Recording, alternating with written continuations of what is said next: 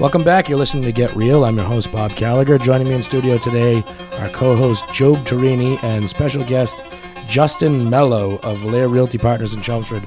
Welcome to the show, guys. How are you, Bob? I'm good. I'm good. This is our special holiday edition. Yeah, Feels very festive here. it does. It's not snowing, though, so it's all good. Yes. That's a good thing. I don't, It I don't want good- snow. Nobody wants snow. I don't even want the cold. No. No, I'd be exactly. okay with this being like a San Diego Christmas. That would be perfect. Probably not going to get that, though. Absolutely not.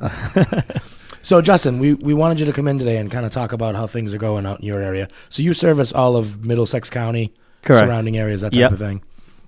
Why don't you tell us what's going on with your business right now?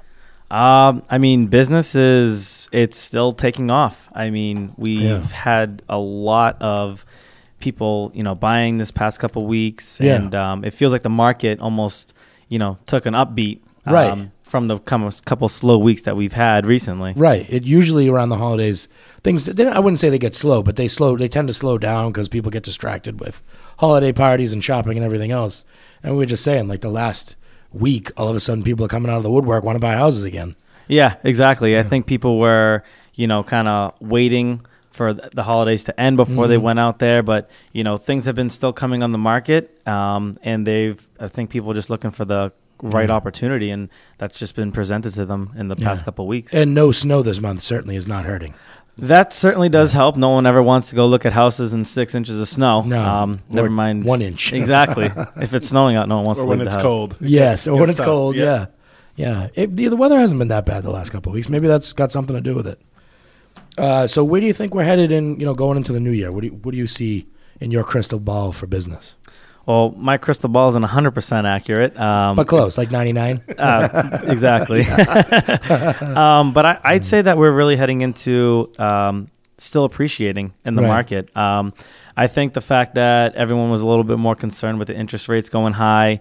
Um, That scared a lot of people, so I Yeah. think that's why we had a little bit of a slower fall than usual. Yeah. But um, I think the talk of we're going into crisis or we're going into a, a turning market Mm-hmm. or we're going to be crashing, you know, I don't think that is going to be happening uh, within Yeah. the next couple of years. Good. I'm glad to hear you say that because I that, think- yeah. that's our opinion too. I mean, I think it's just overblown. I mean, nobody's really said, you know, prepare for the down, prepare for a recession or for a massive price price drop like we saw, Correct. you know, about a decade ago. Mm-hmm. I mean, it's actually kind of a good thing, isn't it? If prices actually appreciate at a slower rate. Correct. Yeah. I Mm-hmm. mean, we've just had such a crazy market where, you know, we've had no inventory, Right. tons of buyers, and, you know, people just flooding the market. And Right. so, of course, that has that caused a lot more bidding wars. It caused, Right. you know, just a lot more people concerned that they weren't even going to be able to find a house. Right. And then, you know, we're not turning into a bad market. We're turning into a normal market. Right. Which is honestly is- what we want. Which, yeah, exactly. It helps buyers um, for sure, and Hmm. it, it definitely still is a benefit to sellers as well. Yeah, yeah. There's a slower appreciating market is not the bad, the worst thing, especially even if you're a seller right now, because most people when they sell they're buying again. Mm-hmm. So if things are going crazy, it doesn't help them either. Correct. I think the immediate thing is too. If you look at it as your first transaction, you want to be on whatever favorability side you're on. Like if you're a seller, you want to be a seller's market. If you're a buyer, you want to be a buyer's market. But as someone who's lost and won, Yeah. I just like the normal market. And I think that's the most important thing that we're being discussed is that the demand, whether it's inventory or whatever's preventing it from coming out, mm-hmm. is coming out when it gets a chance to come out. Like if- so if we hold off for a few months and inventory gets big, like Justin just commented, their buyers are still rolling into the system. Like Right. our our pre-qualification numbers are up month to month. So this kind of idea that this age group is not going to buy homes, mm-hmm. that's Wrong. not now done. Yeah. Like it's you know you're not going to live with three kids in an 1,100 square foot condo in Boston. No, you're not. Nope. No, and I think the real winners of the fall market were absolutely the buyers because Yeah. there was a lot of inventory for them to look at, Mm-hmm. and but not only that, a lot of price reductions, and they were able to really get some great deals. Mm-hmm. Right. Um, so when you when people are talking about you know when was the best time to buy, I mean the fall there were so many opportunities. Right. Um, without having to go through bidding wars, I mean it, it was just a clear win for buyers this fall. Right. Right. And that's one of the, the things to point out too. Like you were saying, the bidding wars. Like during the spring, we had a lot of people that got really discouraged. I mean, when you're going out making five, six, seven, eight offers and you're not getting any accepted, Yeah. and and a lot of them you're not even in the running. I mean, we were talking about some this year with 30 and 40 offers. I don't want to say it was common, but certainly east of 128, it was getting to the point where it's pretty common. Mm-hmm. I mean, when you got that many people looking and that few houses for sale, it's going to create a, a tough spot for a lot of people. I think it's good that things are actually coming back. So you've got a good chance. I mean, you're probably not going to be the only one bidding on a house because it's still pretty active Correct. but you've got a chance if you're only up against one or two or three other people. Exactly. If you've got 10, 20, 30 people bidding on a house, I mean, It, it's gonna happen. Yeah. I mean, it's still happening. I mean, I, Yeah. you know, I just won, you know, luckily a bidding war this weekend on a multifamily in Lowell, Mm-hmm. Yeah. and you know there was five other offers. So you know the demand for great opportunities Yeah. are still there for buyers, Yeah. and it's still a great time for sellers because if they do have a great opportunity to present to the buyers, then you know obviously they're going to get top dollar and Right. they're going to get the bidding wars. So it's an opportunity for everyone, but Yeah. I can definitely say that you know there was a lot more opportunities for buyers. Um, and what about, um, I, I hesitate to use the word lower end because there isn't really a lower end anymore, but for first time buyers looking in that, you know, below 300 range, Mm-hmm. uh, is there more there for them too, or is that still ultra competitive? it's still ultra competitive Yeah. because it, it's still a market that you know we have a lot more first time home buyers Mm-hmm. than we have people that are you know moving down or you know sizing Yeah. up for their property Right. so i just think it's more it, it is more competitive because you know you have much more people first time buyers that are looking for the smaller house Mm-hmm. Right. and that price range is just really competitive i think really think anything under 350 is a super competitive market Really? yeah That makes it. That, so it's still kind of tough, but would be nice if things like you know talking about going back to a normal market. People that have wanted to upgrade for a while but haven't because even the you know the 350 to 650 was so competitive. Now that that might be relaxing a little bit. Yeah. Now that those people can get a deal or at least a perceived deal mm-hmm. on buying one of those houses, maybe they're more likely to move out yeah which will free up some more inventory, which is really what needs to happen. I mean, we kind of got gridlock in the in the market. The only way it's going to free up is if somebody starts selling. Exactly. I mean, from spring to fall, the inventory doubled. Wow, I didn't know it was that much. Yeah.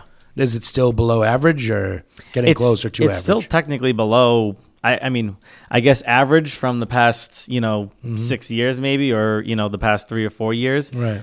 You know, it, it's definitely above average. Right. But you know, in a normal market, this is Still I still side. a little bit on the low side. yeah, but at least there's stuff to look at. Now. Yeah. And I think, exactly. the, and I think the important thing too on rates is because that's a, a great point Justin made is that shocked the market a little bit. But I think for people looking to buy a home, like even if you're two or three years away from it, you're still two years away from a normal interest rate market. Meaning six and a half percent is a normal interest rate Right. market. I was 32 years old before I saw a rate under five, and Yeah. I've been doing this for 22 years. yeah, So I mean, let's let's put that in perspective. That's Justin grew up in an environment that probably never saw a rate over five.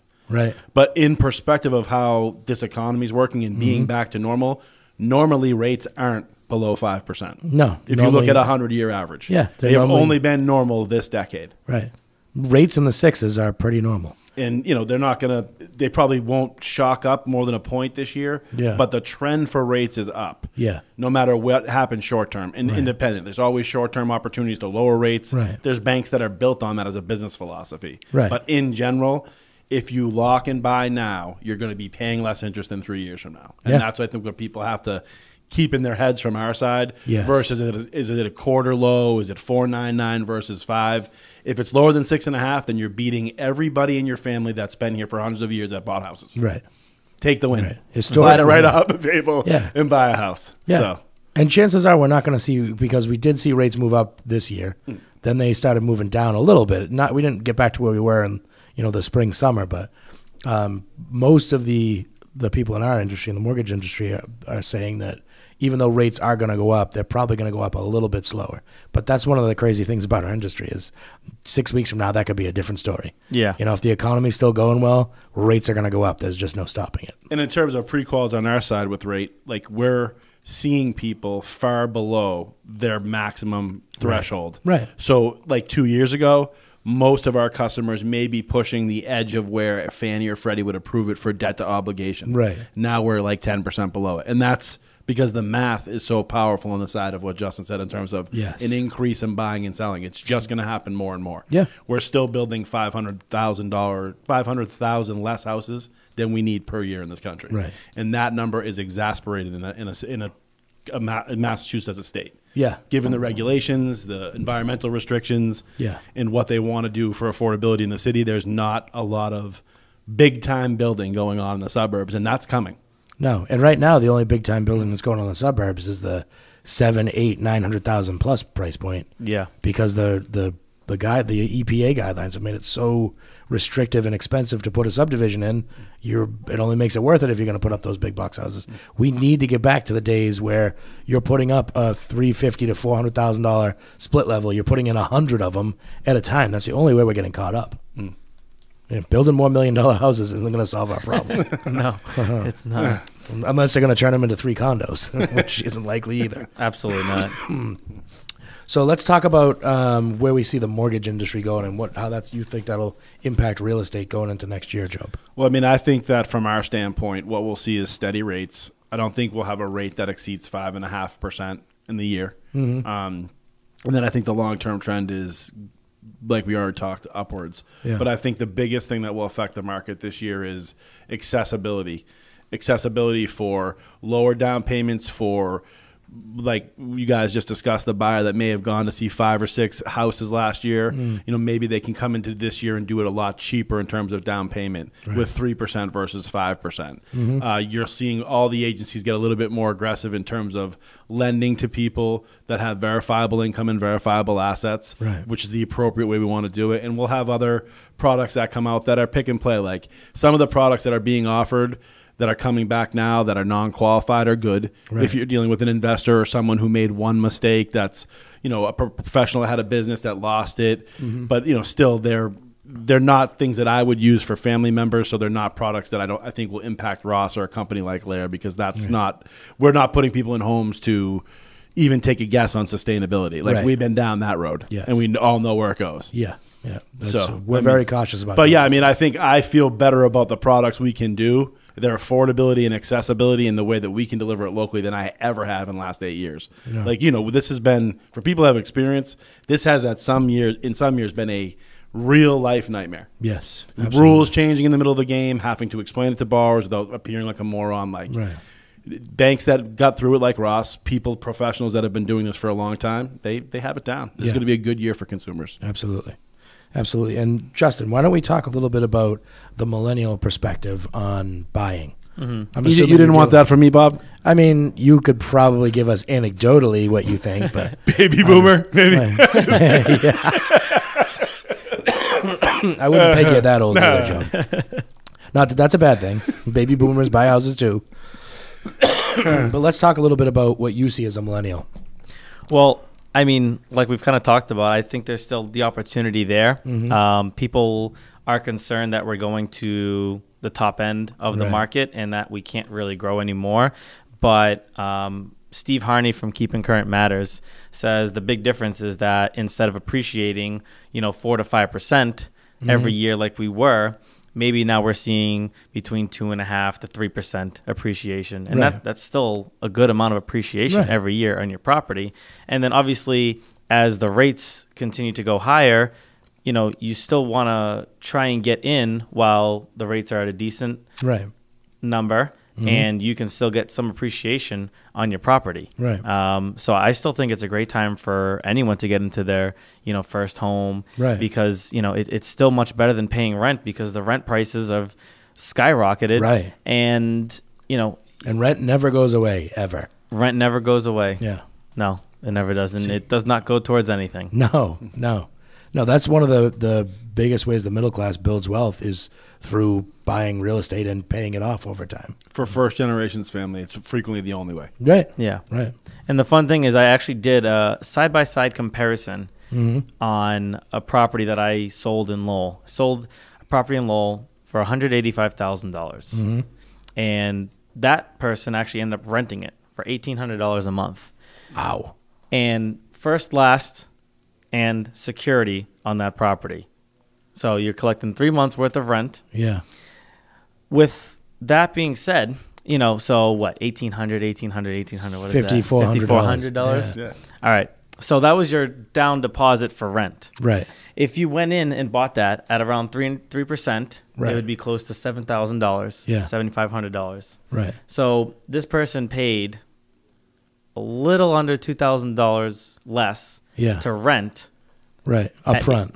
Exactly. Yeah. When someone could have bought it at $7,500 down and their monthly payment would only be around like $1,200. Right. But someone renting is paying $1,800 a month. So the the first three months that you own it, you got back the extra two grand. Correct. You had to put out. And that's the thing too is people don't recognize the premium people are paying for their quote unquote no worry rental situations Yeah. is enormous. Yes. It isn't market demand. There's plenty of apartments. I mean, look around if you want to drive. It's it's a lot of money that landlords are asking for And in any getting. rental situation, and they're getting because it's competitive and like you know this is a different state now. You can't Yeah. drive any direction.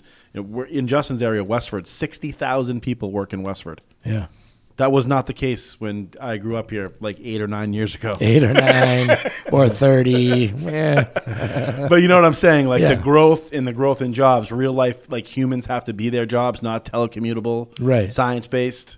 Yeah. That's exactly feeds right into your What mouth. drives That's those not markets. going away. Yeah. And I think the biggest difference is a lot of people are maybe afraid to jump into that first purchase because they're like, well, what happens if my heating system goes? What happens if my, um, you know, what, what happens if my AC breaks? What happens Right. if I need a new roof? Um, So, you know, whenever I f- sit with a first time home buyer, my biggest thing is don't try and get in over your head. Right. Like, know your means, know your limits, and always, you know, when you're putting your down deposit, make sure that you have money saved up for a rainy day because, Yes. you know, things always happen in a house. Um, you know, when I bought my four family, you know, Mm-hmm. uh, I had to put a new roof on, you know, a month later because mm, there was That's it was tough. leaking, and I Yeah. knew it was older, Yeah. so I was mentally prepared Right. to be there. So I think everyone has to be mentally prepared to understand that you know if you have to do something, you know, great, but make sure you're aware of that. Or you know, if you're really not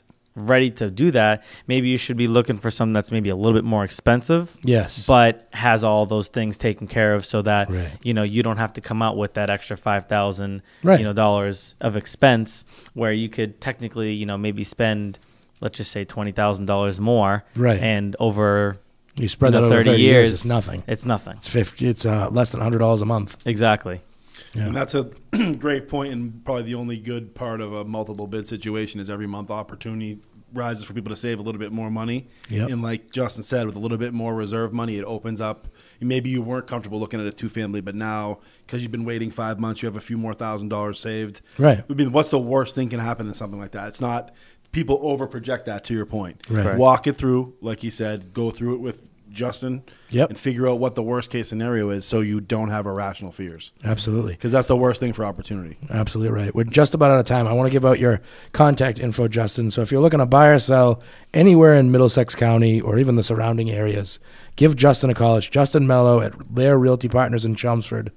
The number is 978 758 5028. One more time, it's 978 758 5028. Thanks for coming on the show with us today, Justin. uh, thank you for having me i feel special being on the christmas edition Yeah, I know. It's, it's great having you guys. Yeah. Next time, next year we'll have to sing at the end, but we ran out of time. The time. last so. 30 seconds, Bob's just going to sing all Ave Maria. Rusty. All right, so we're going to take a quick commercial break. We'll be back with more Get Real after this.